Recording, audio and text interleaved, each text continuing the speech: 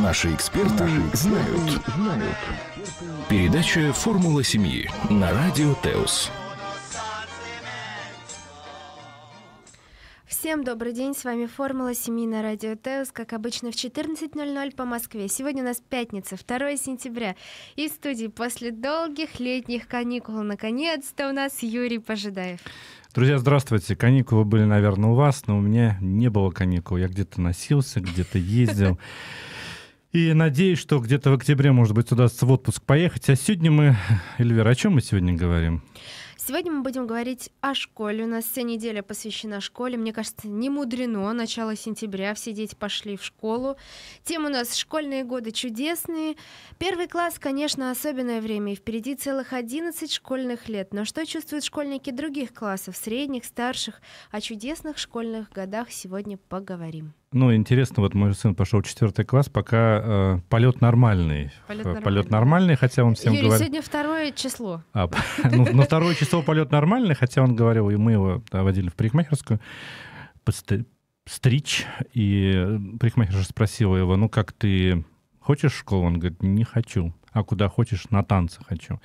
Ну, мой сын занимается танцами, но все же, друзья, хотелось бы сегодня услышать какие-то фрагменты из вашей жизни, которые повествуют о чудесах во время школы, что вам было интересного. Вот расскажите какую-то историю, да, которая вот осталась у вас таким э, шрамиком или, может быть, хорошим, э, хорошей канавкой в, вашем сознании. Может быть, это приятное какое-то воспоминание. Поделитесь, пожалуйста. Хочется узнать вообще, как ваша школа прошла.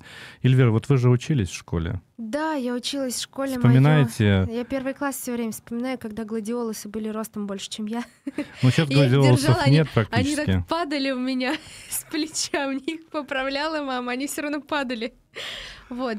А, Школа, школа, начальную школу я плохо помню, очень плохо помню. Ну, просто она была, ну, что там мы делали, сердечки, я помню, у нас были не оценки, а сердечки. Цветное сердечко — это ну, вот хорошо просто, серебряное — это четверка, золотое сердечко — это прям пятерка. И я М, У нас кружки были. Красный кружок, потом квадратик, треугольничек, что-то вот типа этого. Вот, вот мы приходили домой и клеили эти сердечки над, а, значит, столом, за которым мы делали уроки. Вот смотрели, думали, какие мы молодцы вообще, что мы сердечки эти получаем, потому что двойки — это вообще отсутствие сердечек было. Вот так. То есть. И в конце, я помню, каждого триместра, мы учились по триместрам, у нас был итог. А, Кто больше всех сердечек набрал и каких. И потом, значит, то ли торт, то ли какой-то подарок, я уже сейчас не помню, имениннику давали. Зато с начальной школы у меня а, сохранилась копилка, маленькая копилка, которую подарили на день рождения. Вот это все мое воспоминание начальной школы. Гладиолусы, сердечки и копилка. Здоровские воспоминания. Вот у меня воспоминания не очень от начальной школы, потому что моя первая учительница была Елена Васильевна Пеко. Я даже до сих пор помню ее имя, отчество и помню ее вот внешний облик. Она была фронтовичка. Друзья, мне много уже достаточно лет. Она еще учила мою маму, была артиллеристка, по-моему, вот такая награжденная женщина. И она была очень строгая, прям жутко строгая. Нельзя было ничего делать абсолютно. Вот какое-то любое движение, все это пресекалось, она имела физическое воздействие. Указка по голове это было, ну, нормальненько так, так, так, ну, по голове. Вот это слово «шкрыкнуть» было, да, вот если она могла подойти и шкрыкнуть указкой по голове. То есть поэтому ученики понимали, что надо учиться, что в школу надо приходить не ободрясничать, а надо таблицу умножения знать. Мы писали перьями еще в то время, и все было хорошо, дисциплина была просто идеальная. Вот так вот начиналась моя моя начальная школа. Не знаю, была она чудесная, расчудесная, но были хорошие, конечно же, моменты. Но а у друз- меня был такой же учитель. Это было уже в средних, э, э, в первых средних классах, да, я имею в виду пятый, шестой. У нас был такой географ. Ему было, наверное, лет 80 уже. Он ходил с тростью. У нас прозвище было ему дано костыль. Ну, все понятно. Ну, понятно, да. Его уроки это была как армия. Он заходил, все вставали по стойке смирно, ровно и тишина, ни единого вздоха. И вот он заходил, осматривал весь класс полминуты, каждого так пристально осматривал. Потом говорил так, здравствуйте, дети, садитесь. Мы ему кивали и садились. И в течение его урока должна была быть гробовая тишина. Но когда его мы просили рассказать о каких-то его экспедициях и походах, потому что он был не просто теоретик, он практикующий был географ, он начинал рассказывать о том, как они в Африку съездили, еще куда-то, и, конечно, его история не сравнить ни с чем. К сожалению, его уже сейчас нет на свете. Я считаю, что это был лучший учитель средней школы. Ну вот видишь, как здорово. Вот, а мы, мы же говорим сегодня о том, что школьные годы, они чудесные, друзья мои. И хотелось бы, чтобы вы делились с нами чудесами, вот какие-то чудеса, какие-то люди, может быть, какая-то история, может быть, какое-то событие, которое у вас в школе произошло. Ну, поделитесь с нами, поделитесь э, со всей страной, со всеми радиослушателями, будет очень приятно. Но я хотел сказать следующее, друзья мои, что сейчас вот школьный процесс и школа — это немножко другое, чем у меня была школа. Я думаю, что у Эльвиры тоже. Потому что сейчас школа детей не учит, она только сопровождает их, и вся нагрузка идет на родителей.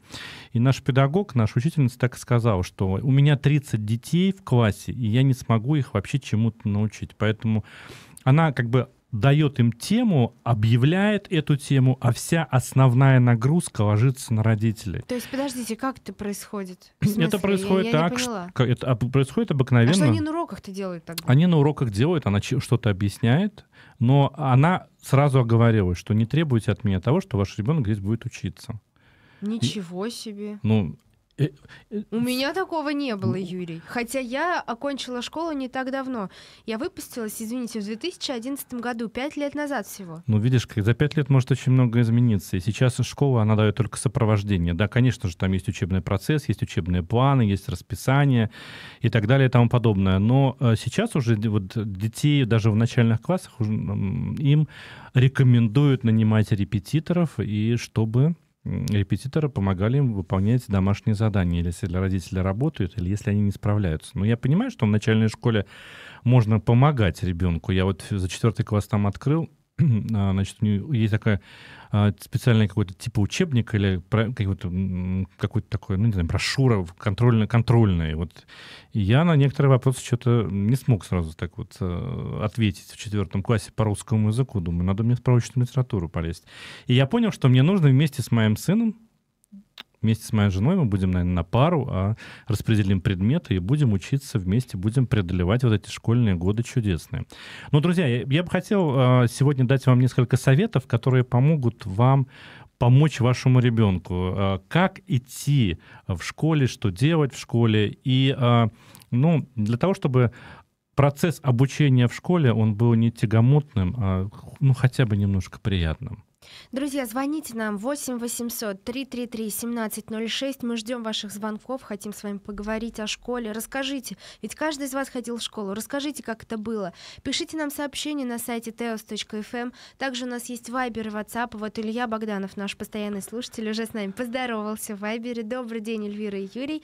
Очень рад вас слышать. Добрый день, Илья. Добрый день. Да, из, из Ялты нам привет долетел, если я правильно помню. Да, из Ялты там хорошо. Вайбер, э, WhatsApp, плюс 7 977 850 09 96. Один раз добавьте нас в контакты и все, потом просто пишите на радио ТЭС.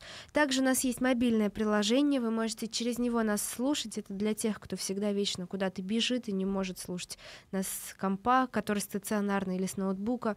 Качайте, слушайте, отправляйте сообщения, все придет ко мне вот здесь на экран, я прочитаю, зачитаю. Так что ждем, друзья, ждем ваших историй.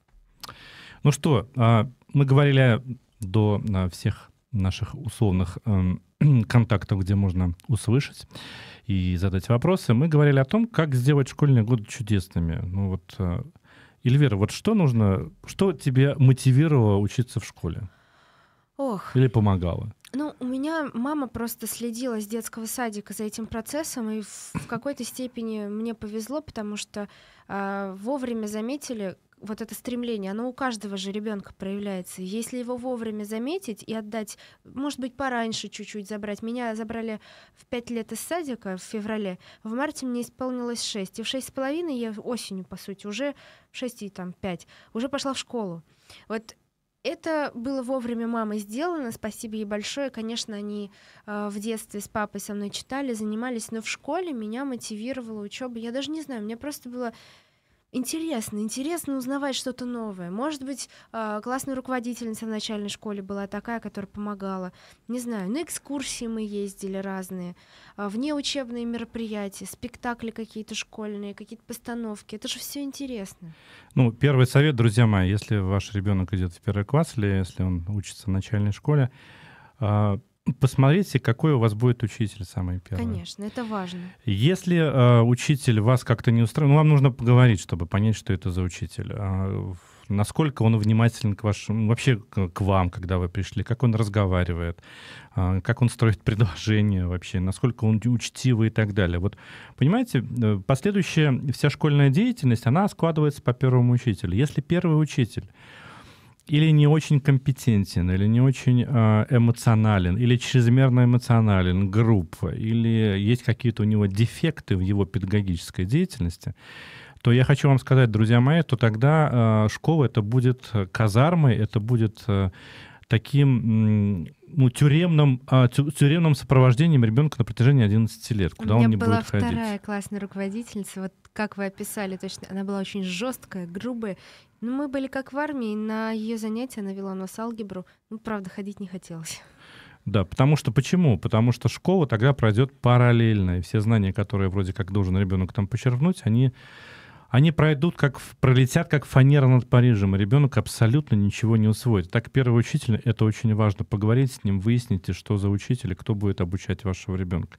Если вам, вас не устраивает учитель на первых порах, в первом семестре или в, первом, э, в первой четверти, ну, поменяйте школу, не бойтесь этого, ну, не бойтесь, уходите, э, уходите в другую школу по рекомендациям, потому что обычно родители знают друг подружки, где какой учитель, как он ведет, хороший, нехороший.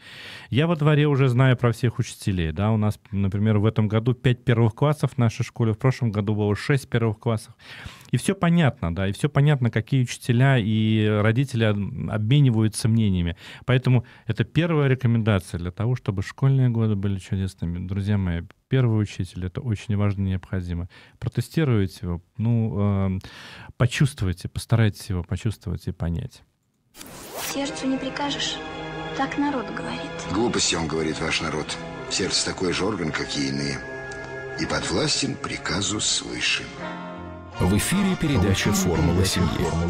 Ваши сообщения вы можете присылать через сайт radioteus.ru.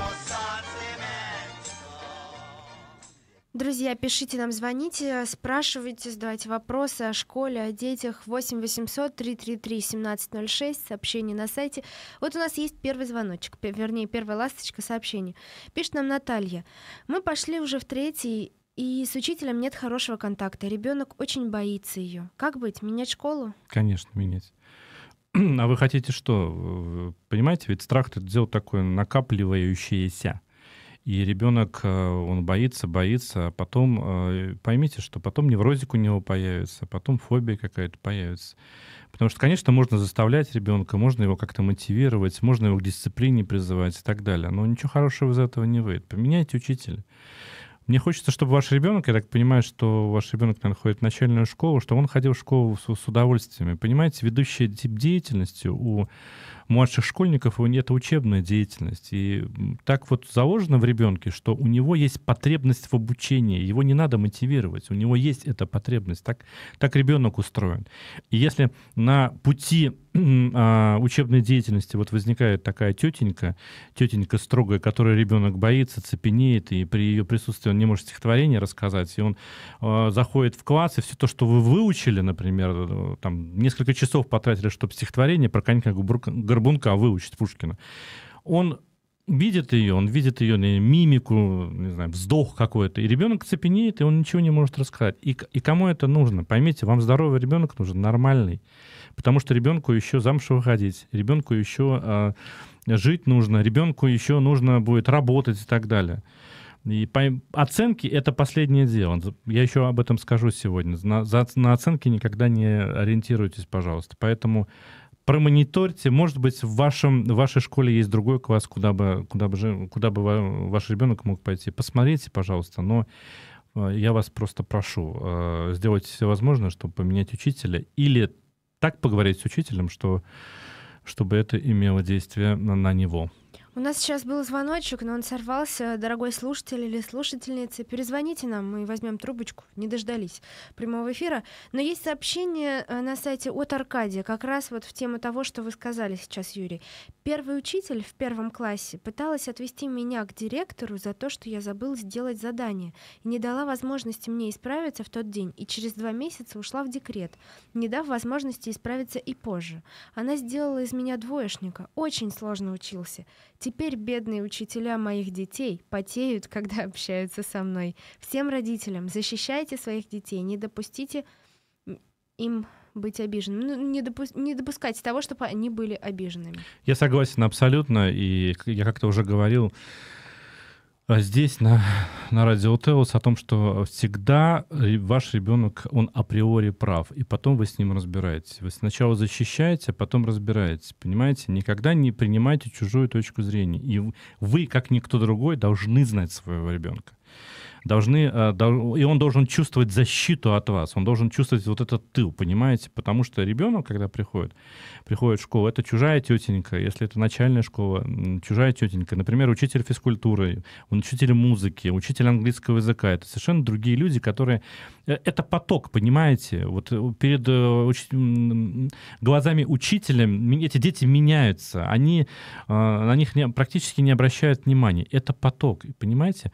И поэтому вам нужно своего ребенка защищать. Если двойка, если ребенок вдруг отказывается идти в школу, это для вас очень большой сигнал. Поэтому вам нужно вместе с ребенком идти в школу и разбираться с этим вопросом, почему. Итак, у нас звоночек. Здравствуйте, вы в прямом эфире. Здравствуйте. Здравствуйте. Я хотела бы э, предупредить эту мамочку, которая беспокоится за свою дочку, у которой э, учитель очень строгий. Угу. Я просто хочу поделиться э, своим опытом жизни. Да, пожалуйста. У моего сына тоже была очень строгая учительница в первом классе. Но поскольку он не был, не ходил э, в садик, потому что он часто болел, э, э, он, он, он как-то боялся э, даже ее взгляда. И э, к третьей четверти он уже стал заикаться так, что он не мог говорить «мама». И его отправили в речевой санаторий. Но э, я понимала, что это от учительницы, но, знаете, наше поколение, мы всю жизнь снимали шляпу перед врачами, перед учителями. И, и я-то ее стала бояться. А потом как-то, знаете, что-то произошло в моей жизни. Я пошла, поехала в библиотеку Ленина, э, набрала вот это дошкольное воспитание, школьное воспитание, все там прочитала. И когда я пришла в школу, я говорю, я хотела бы с вами поговорить. Она говорит, мне некогда говорить. Я говорю, ну пойдемте в ваш класс, я говорю, и мы поговорим. Вы знаете, я не знаю, откуда у меня была эта смелость, я закрыла ее на стул. Эта дверь, э, на, прям стул воткнула, я говорю, на... И я ей целую лекцию прочитала, как надо, э, ну, разбираться садовский ребенок, не садовский. Видно по ребенку, что он, он просто он от, от одного ее взгляда цепенеет. И когда, вы знаете, она сидела, слушала, как будто бы первый раз слышит это. И, конечно, я ее, ну, потом, когда поговорили, она все хотела уйти. И э, она говорит, ну, на следующий день, говорит, вы знаете, он так хорошо прочитал стихотворение, вот то-то, то-то, но он уже на следующий э, четверть поехал в санаторий. А там выправили его речь, там поют они, ну, чтобы восстановить mm-hmm. речь. Вот. И я помню этот случай. Вот сейчас он уже взрослый, ему уже 50 лет. Но uh где-то, когда он волнуется, я чувствую, что он заикается, как бы вот отголоски uh того времени э, э, все-таки живут. Поэтому, мамочка, берегите своих детей. Кроме вас никто их не защитит. Спасибо. Спасибо вам большое за такую историю. Спасибо, Спасибо большое. вам громадное. Вы очень большая молодец, э, потому что вы пошли и потому что вы защитили своего ребенка. Потому что вы не просто не просто даже его защитили, а вы попытались исправить позицию. Может быть, вы даже защитили еще многих-многих детей, которые, которых эта учительница потом калечила и учил. Вам, да. вам, вам спасибо громадное. Так, да, все, звоночек закончился. Спасибо большое. Да, и вот поэтому, друзья мои, нужно защищать детей. И, мы... и следом у нас еще один еще звонок. один звонок. Да. Ну, давайте примем. Алло, здравствуйте, вы в эфире. Алло. Алло. Так, сорвался, сорвался опять. Ну, звоните, мы ждем звоните, вас. Да. А, Итак, школьные годы чудесные, друзья мои, чтобы ребенку было хорошо. Значит, первый учитель очень важно. А второй момент. Ну, я очень прям конспективно вам все это буду говорить, потому что это очень вещи простые. А у нас телефонный да, звонок. все-таки дозвонился нам слушатель. Алло. Алло. Здравствуйте. Здравствуйте. А, меня зовут Владимир. Да, здравствуйте, Владимир. Хочется поделиться школьными годами. Так. Вот, значит, моя первая ученица была Анна Алексеевна. Это было давно, у нас тогда были парты, кляксы стали с конца, такие чернильницы были в партах, да? Угу. И, меня вообще учителя все очень любили, да? Потому что был покладистый, понимаете? Учителя не любят, когда им досаждают, когда уроки не учат. Они не любят таких уч- учеников. И вот э, э, в первом классе, второй, третий, да, тогда столовых не было. Мы приходили, да, звонок, обеденный перерыв, детишки доставали бутерброды там, а я обычно, э, мы жили очень бедно. Мама трое детей, у нас папы не было, да. И я обычно пустой приходил. Она мне давала свои пончики, э, самые сырники, помню, я с удовольствием уплетал, да. И вот я благодарен до сих пор. Такая была хорошая. Вот, ну, как вы помните, как вашу учительницу звали?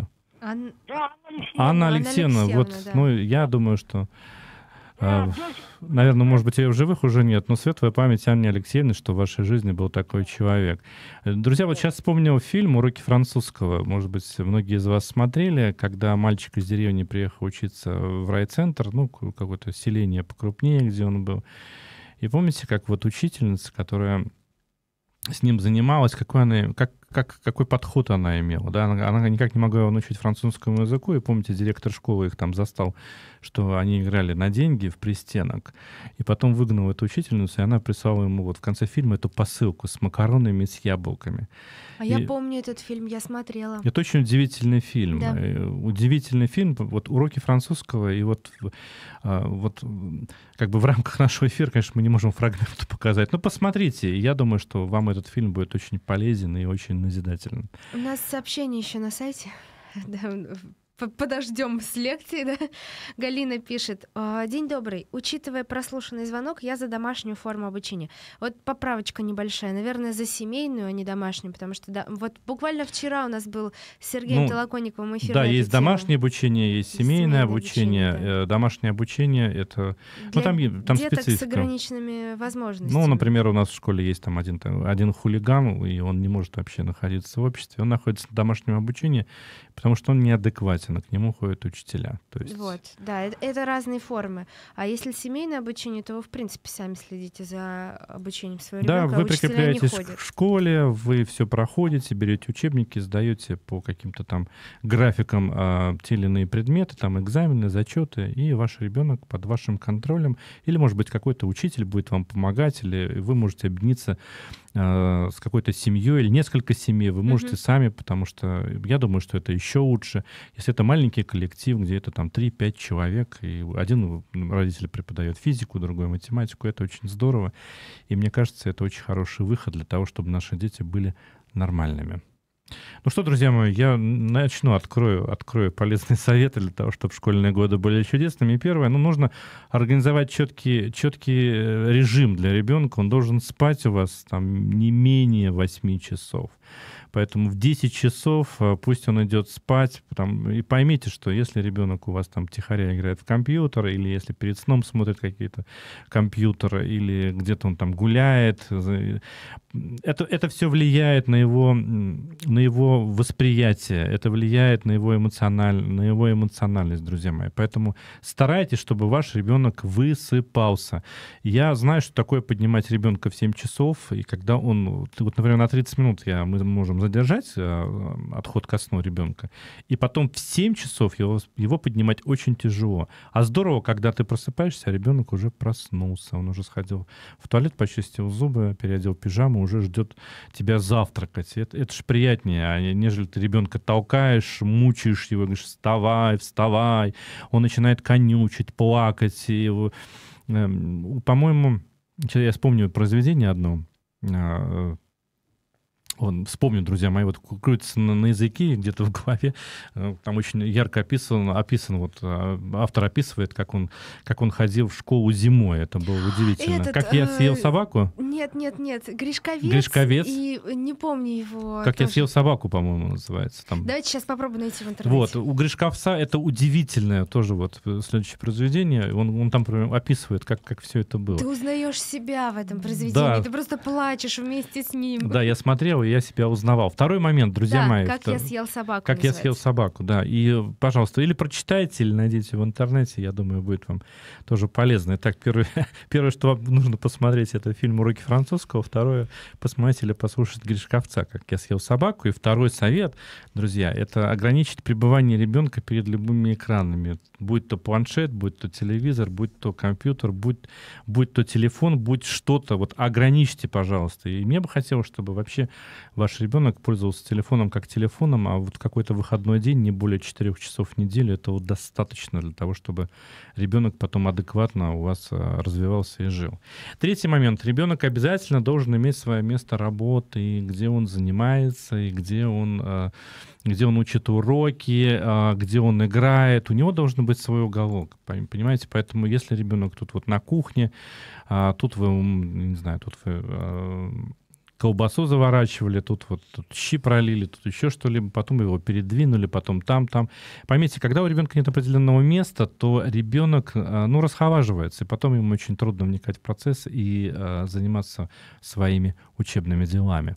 Прерву Юрия сообщением, которое прислал нам слушатель Никита. В четыре года прочитал свою первую книгу. В пять лет прочитал от корки до, корт- до корки легенду о Тиле Уленшпигеле и детей капитана Гранта. А в шесть лет имел второй взрослый разряд по шахматам за призовые очки в общегородском турнире в Санкт-Петербурге. К этому времени освоил математику до седьмого класса. В шесть лет. Математику до седьмого класса. В уме считал уравнения с квадратными корнями в степенях. При этом имел успехи в спортивной гимнастике и футболе, считался перспективным. Пошел в школу, был двоечником. Первая учительница, заслуженная, считала меня идиотом и пыталась сдать в интернат для психбольных детей. Ненавидел школу от первого до, последне- до последнего года обучения. Вообще не понимал, зачем я там нахожусь. При условии, что программу школы я сам мог освоить года за два. Школа меня отупила и сделала не только стандартным, но и несчастным. Вуз вернулся на свои места. Ой, очень печальная история. А напишите, пожалуйста, вот нам тоже в сообщении, а ваши родители, они имели какое-то отношение, участие вот к вашему учебному процессу? Как-то Где именно? До школы? Нет, или- до школы понятно, Потому да. что все заслуги — это дошкольные. До школы. Нет, во Да. время школы мне интересно вообще, вот если там учитель из вас делает идиота, ну, родители же знают, что у вас успехи. Они как-то стали на вашу сторону. Вот хотелось бы немножко углубиться в вашу историю и услышать продолжение. Что ж, что ж такое-то вот так произошло? Потому что в любом случае, что вот это вот отравленное время, конечно же, оно у вас сидит, и вот какая-то даже обида на все на это, наверное, и есть. Поэтому, если вам не сложно, пожалуйста, напишите нам. Мы будем очень рады познакомиться Но с, с история вашей меня, историей. честно говоря, Ну, пронзила она- так, что я сижу в оцепенении и думаю, это А- же каким нужно быть учителем? Как бы это учитель это профессия призвание. Конечно же, это Как? профессия Как можно? Или ты живешь э, где? Ты же живешь вот среди я не всех нас. сталкивалась, честно. Я, у меня Кто не идеальная идет в школа. педагогический вуз и в педагогическое училище? Ты Ну, видела этих Ну студентов? подождите, у меня Нет, не ты идеальная ви- школа. Нет, но ты у меня видела не было этих таких студен- учителей. Нет, ты видела Студентов этих нет, студентов? не видела. Кто идет в педагогический? А, обычные знаю, обычно знаю. идут те люди, которые ну, о большем не мечтают. А вообще педагогические институты или университет, это, ну как мягче это сказать? Это, э, ну, Юрий, я вам для не проф- верю. Я не верю вам. При- Есть хороший педагогический Есть хорошие, институт. нет, есть хорошие педагогические институты, есть. Ну, Я не, я не хочу сейчас вот в эту дискуссию пускаться, потому что, потому что а, учителей, учителей хороших с призванием, которых вот именно так воспитывают, их очень и очень мало. Мы сейчас не будем говорить о зарплате и так далее и тому подобное. Вот недавно в новостях прошло, где-то родители возмутились, что они все цветы увидели в мусоре там, и так далее. Уч- ну, Ну, я понимаю, что если учителю подарили 30 букетов, она до дома не дойдет. Но она их в мусор выкинула. То есть вот и я хотел следующее сказать, что а, профессиональная деформация у трех категорий людей. Врачи, педагоги Учителя. и учителя. Ну, учителя, Да. педагоги и, и психологи, простите. Это люди, которые имеют профессиональную деформацию. Я встречал учителей, которые 20-30 лет работали в школе. Они вообще ничего не воспринимают. Они ведут везде себя одинаково. И этим людям нужно, им нужно помогать. Их нужно, есть, есть, же, есть, есть же контроль учителей. Что, как их контролируют? Это открытые уроки. Приходят другие учителя на открытые уроки, и вот там все это, вот это вот, Ой, показ, слушайте, вот эти показ открытые идет. уроки, когда внутри все друг друга прикрывают. ну, Понятно, в общем, понятно, понятно. Вот, вот все ни о чем. А нужно же как-то по-другому. Ну, э, мы можем вспомнить, э, где э, Вячеслав Тихонов играет. Помнишь этот старый фильм? Штирлиц Вячеслав Тихонов играет в главной роли. Опять, я опять сегодня с памятью моей что-то стало. Но ну, учителя есть учителя. Это данность, в которой мы живем. И поэтому наша сегодняшняя передача, она больше обращена к родителям, а не к учителям. Дорогие мои родители, пожалуйста, будьте родителями. Защищайте своих детей и, и помогите им сделать так, чтобы школа была более-менее приемлема и удобоварима. И поэтому мы остановились на том, чтобы место было для ребенка, чтобы у него было фиксированное место для игры и для, для обучения, да, чтобы он уроки мог делать. Следующий момент. А, мои хорошие, дорогие родители, пожалуйста, прекратите детей кормить чипсами и всякой, всякой фигней. Ой, Юрий, кто кормит-то? Просто деньги даются на карманные расходы, а ребенок что правильно идет и покупает. Дома хотя бы помогайте детям есть нужную пищу. А, Конечно, дети избирательные, понятно.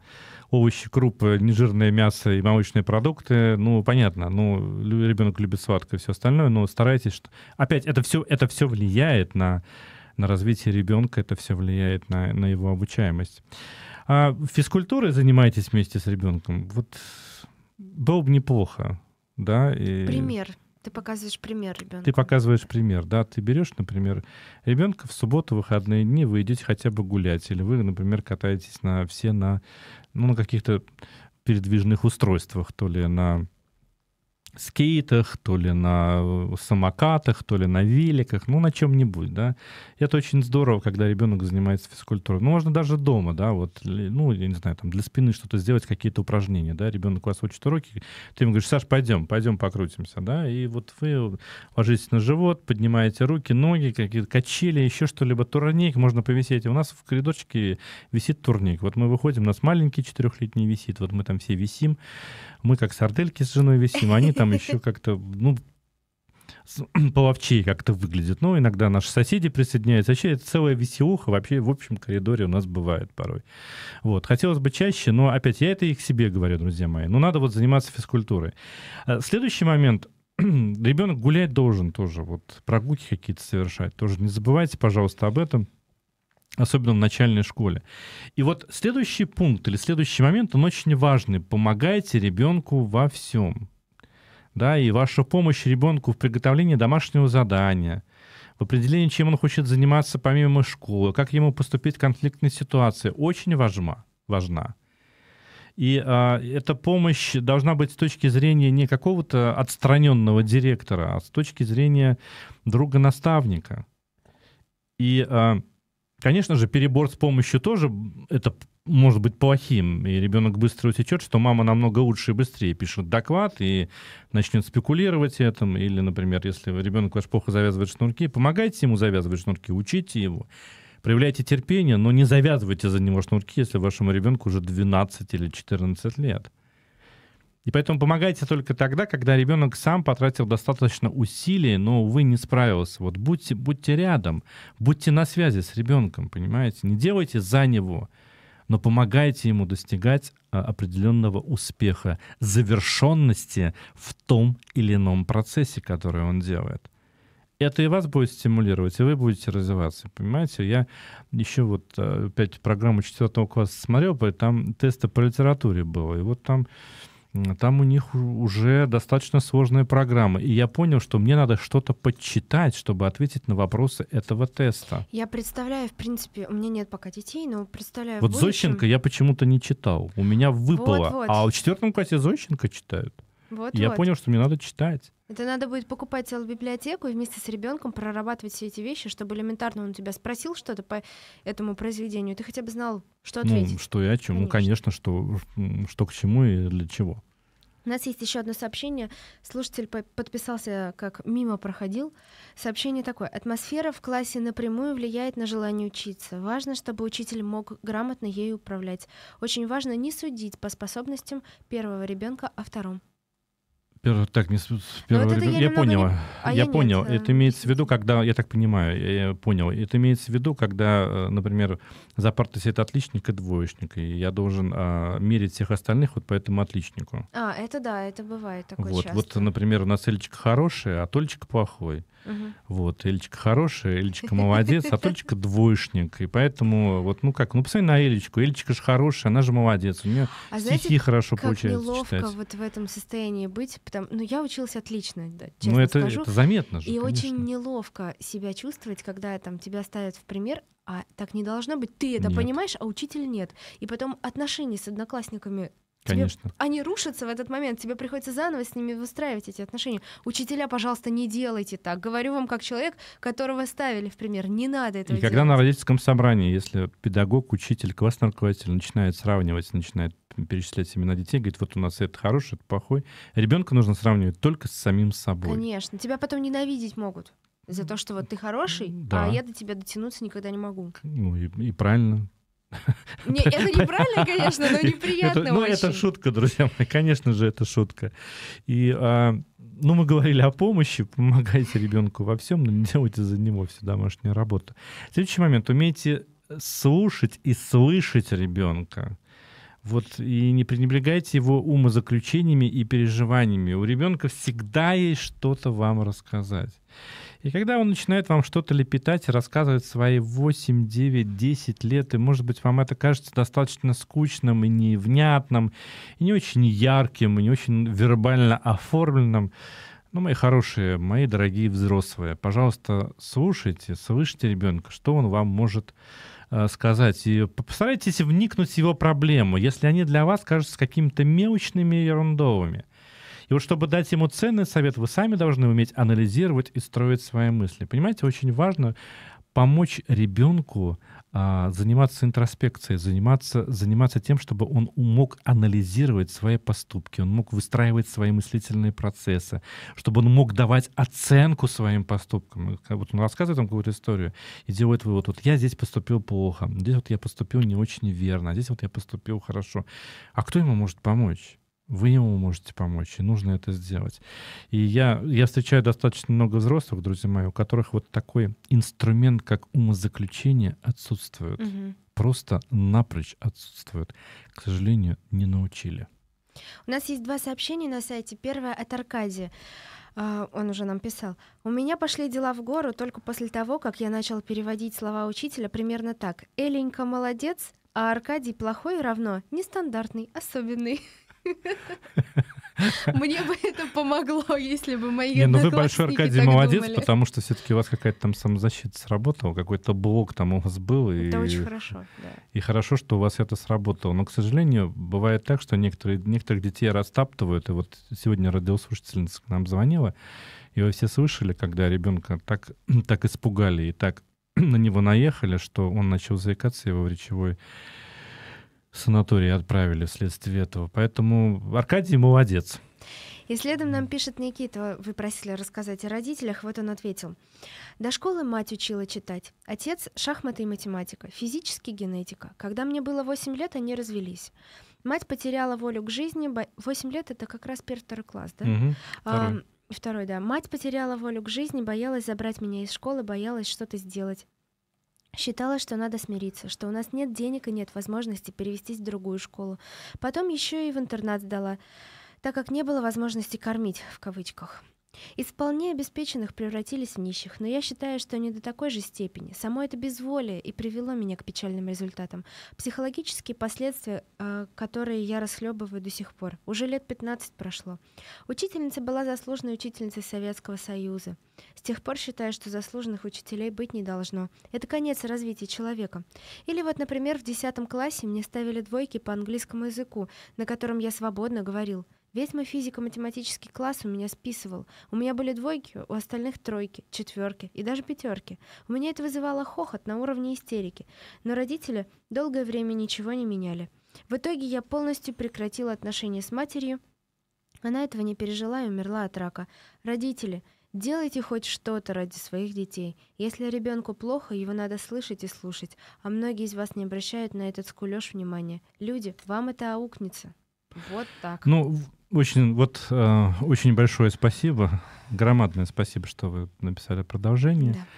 А, И теперь все становится понятным. Вот, э, и поэтому я вот буквально кричу сегодня, друзья, на радиоэфире. Родители, не утешайте себя мыслью, что если вы ребенка отдали в школу, школа все сделает за вас. 90% это на ваших плечах. Если вы завели ребенка, если вы решили дать жизнь ребенку, это ваша ответственность довести ребенка и помочь ему встать на ноги. Понимаете, процесс кормления, одежды и а, развлечений это, Это конечно, пустяк. это пустяк. слово. это пустяк. Но вот, вот самое основное, самое основное, вот о чем мы говорим, это защищать ребенка, это понимать ребенка, это помогать ребенку, это слышать ребенка. Вот, ну, это же человечек, который растет который растет, и вот и мы сейчас читали это сообщение, вот эта боль такая вот слышится просто в, каждом в каждом слове боль. Поймите, что э, это как вот, по-моему, мультфильм «Пустельная ворона», что ли, собака бывает кусачей только от жизни собачьей. И потом мы раним других. Это вот цепочка, она постоянно идет. Ну давайте прерывать эти цепочки. Давайте мы все-таки уже перестанем, перестанем заниматься собой. Мы уже всех денег мы не заработаем. Если у нас есть ребенок, если у нас есть дети, давайте-то наконец обратим внимание на наших детей. И следующий совет, который я хочу вам дать, и следующая рекомендация, не ожидайте от своего ребенка невозможного. И каждый ребенок, каждый ребенок имеет свой собственный путь развития. У него свои дарования и свои способности. Есть дети, которые, ну, им тяжело дается правописание, а у кого-то есть врожденное чувство языка. Я вот завидую людям, у которых врожденное чувство языка. Вот они пишут все правильно. Вот. Или машут мне здесь рукой. Да. Она, вот человек, вот ребенок пишет, вот у него все правильно. Вот мой сын пишет, вы даже не представляете. Мы, мы какие только прописи не, не перепробовали. Мы, мы, мы что только никаких гимнастик мы не делали. Ну вот курица лапой и курица лапой. Вот он, он пишет, я даже не знаю, это вот, э, вот как, как, я даже не знаю, как курица лапой, но невозможно на это смотреть. И я, и я, и я говорю сам себе, что а, да, мой ребенок такой, и он не умеет красиво писать, но он старается. Если бы, наверное, он не старался, то это, наверное, была бы вообще какая-то китайская вязь, которую я вообще не, по- не понял, там, или арабская вязь. Вы знаете, Юрий, все впереди не переживайте. Кто-то вообще в пятом классе расписывается так, что потом становится У меня был ужасный почерк. И что, почему я начал красиво писать каллиграфически? Потому что в 10 классе у нас был классный руководитель Иван Васильевич, который очень красиво писал. Я посмотрел на его почерк, я захотел так же. И я начал ему подражать. Почерк исправился. И поэтому помните, да, что, друзья, помните, друзья мои, что ну, есть дети, которые одарены, они математически могут быть одарены, они могут быть э, э, одарены в чем-то вот, ну, вот физически одарены. Вот э, сегодня радиослушатель писал, и он, понимаете, есть спортивные дети, очень спортивные, а есть неуклюжие дети. Ну, мы смотрим на спортивное и говорим, какой же ты у нас такой, такой, такой, и начинаем его унижать и просто забивать его в грязь. По поводу неуклюжих детей. Меня многие спрашивают, как я дожила до своего возраста, потому что я всегда найду, обо что удариться. Вот недавно У гуляла... нас Саша такой. Вот, недавно гуляла по Петропавловской крепости в Питере. Единственный камень, который выпирал из брусчатки. Кто об него споткнулся? Конечно, я. Ну, и то еще, был, по-моему, итальянский фильм такой «Невезучие». Помните, там был мужчина невезучий, женщина невезучая. Как они там встретились. Удивительный фильм тоже. К просмотру рекомендую. У нас сегодня целый список. Да, у нас целый список, друзья мои. Ну, в 1 сентября скоро хо- холода, и поэтому... Поэтому есть что посмотреть и есть что послушать. А, Аркадий нам написал, плохой почерк, говорит, признак гения. Значит, я был гением, а сейчас уже перестал быть. Ну, ну дай бог, чтобы было Саша так. еще не, не все У потеряно, Саши, да? да, у Саши еще не все потеряно. А, Следующий момент. А, И хотел вам сказать, друзья мои, не вынуждайте ребенка учиться только на пятерке. Вот или, или отличница и... Я не говорю, что это хорошо, потому что система оценивания не может быть объективной. Ну за что тебе ставили оценки? Ну, за, за глаза? Нет, нет, что? за, за результаты, которые я вдавала. Но просто я не о том. Я о том, что это неправильно вообще так, та- так подходить. Вот мне понравился подход одной мамы. А, Когда она учила ребенка писать сама еще в детстве, вот буква Г. И вот он штук 15 или 20 этих закорючек напишет, но она понимает, что плохо получается. Что она делает? Она не говорит, вот это плохо, вот это плохо, вот это плохо. Она выделила 2-3, которые получились, ну, прям очень близко к идеалу. Это для меня понятная система оценивания. Ты видишь, э, к чему твой ребенок будет стремиться, ты его направляешь. А когда тебе ставят 5 или 4 и так далее, вот я помню, до сих пор осталось, наверное, это обида, надо простить уже. Прости, Учительница- прости. Учительница по биологии поставила мне 4 по одной простой причине. Я делала лабораторную работу, и вот, Юрий, когда вам говорят слово «белок», что у вас возникает в голове? У меня возникает в голове яйцо, конечно А у же. меня возникло в голове мясо куриное на кости. Это же тоже белок. Белок. И вот мы что-то писали о том, что этот белок, если опустить во что-то, в какой-то раствор, то от него ничего не останется. А я написала, останутся только кости. Ну я же была права, права. Она меня не поняла, поставила там 4 с минусом, хотя все остальное было выполнено идеально, понимаете? И вот что значит оценивание? Я вот этой системы не понимаю. И даже в вузах 100-бальная система, которая, казалось бы, да, ну расширенная такая версия оценки, более подробная, я вот ее не понимаю. Ну, поэтому не надо мучить ребенка учиться только на пятерке. Конечно. И вот я, когда работал преподавателем в колледже, я отличников, ну, как не очень переваривал. Знаешь, осо- нет, ну, как не, очень точно выразился. Я не переваривал тех отличников, которые вы, вымоляли, умоляли оценки, вы- Это, вытаскивали. это прям вот самое они, противное. они, они вот подходят и говорят, ну поставьте мне, пожалуйста, пятерку, ну подставьте. Я говорю, а я не поставлю. Это было что-то. И однажды, однажды меня даже отправили в какую-то командировку специально для того, чтобы поставить какому-то какому отличнику пятерку, потому что я ее не ставил, другой препод ему поставил. Но вот не могу я терпеть таких людей, которые... вы- Ну, я Если пони- не за что, почему надо если не за ставить? что, надо ставить. Конечно. Но, а, друзья, дорогие родители, поймите, что ваш ребенок, э, система оценивания, она очень, ну, очень несовершенная. Что такое пятерка? Вот я знаю, что мой ребенок, он учит стихотворение по несколько часов. И это десятка по сравнению с тем ребенком, который прочитал два раза и выучил его хорошо. И сколько затратил мой ребенок силы, что это было для него, это одно. Или то же самое, например, вот представьте, что есть инвалид, у которого, ну, нет там ни рук, ни ног, и он пишет ртом. Какие затраты тратит он, и вы просто возьмете, что-то напишите и что-то сделаете. Результат-то будет разный, и вы посмотрите и скажете, ой, ну вот это вот плохое. А, И по, по этому конечному результату вы поставите оценку. Поэтому я прошу вас, пожалуйста, если ребенок ваш получил двойку, если он ленился, если он балбесничал, тогда вы можете его наказать, лишить его каких-то привилегий, каких-то преференций. Но если ребенок, вы понимаете, ни за что или за почерк там ему снижают оценку, если он не очень тянет, он старается, он получает тройки, ну, тройка значит тройка, это пятерка. Нам Аркадий еще написал, почитайте историю Максвелла, Нильса Бора, похожие истории, как с вашим белком. И ведь гений же. Юрий, я в вашем клубе. Я в клубе вас и Саши, так что все нормально, у нас передача гениев. Наверное, последний, а, последний со- совет или последняя рекомендация, потому что у нас эфир скоро заканчивается. Не запрещайте вашему ребенку общаться с теми детьми, которые вам не нравятся. Вот у нас а, такая история. Вам не нравится? Да, вот ну, я вот смотрю, на- вот у моего Саши есть э, друг Антон. Он, они приехали с Украины, он на полторы головы ниже, но он очень активный ребенок.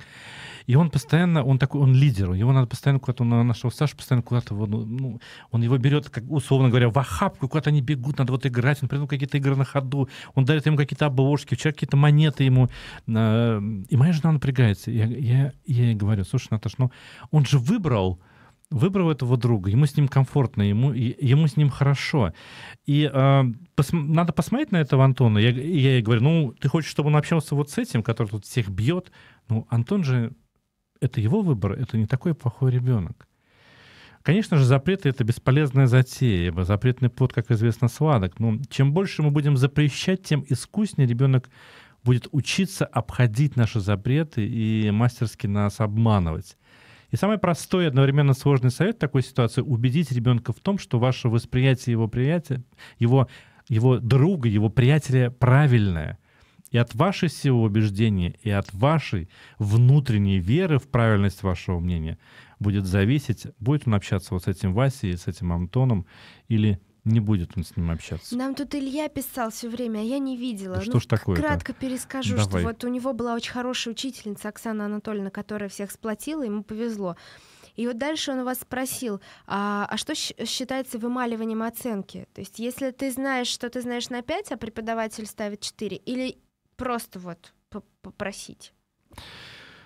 Давай кратенько, у нас уже а, полминутки. что в моем случае я, я там был как педагог, и там были э, немножко другая история. Просить, а, в- просить оценку, ну, понимаете, нужно понять, почему ребенок просит оценки. Если он просит, потому что его, его папа потом прибьет дома, это, а, это один вопрос. Или он просит, потому что ему хочется быть лучше других. Очень ва- важно учителю разобраться с мотивом. И поэтому здесь, если ребенок зависит очень сильно от оценки, нужно понять, нужно вот это вот раскодировать и расшифровать, почему он просит. Илья, ну я надеюсь, в вашем случае все было хорошо, если даже вы и просили пятерки себе в Все, дневник. у нас эфир уже подошел к концу. Спасибо, друзья, что были с нами. Мы сегодня с Юрием Пожидаем говорили о школе. Счастливо. Всего доброго. Хитростями да магнетизмом счастья любви не добьешься. Ну тогда скажите, как достичь его? Наши эксперты знают. Передача «Формула семьи» на Радио Теус.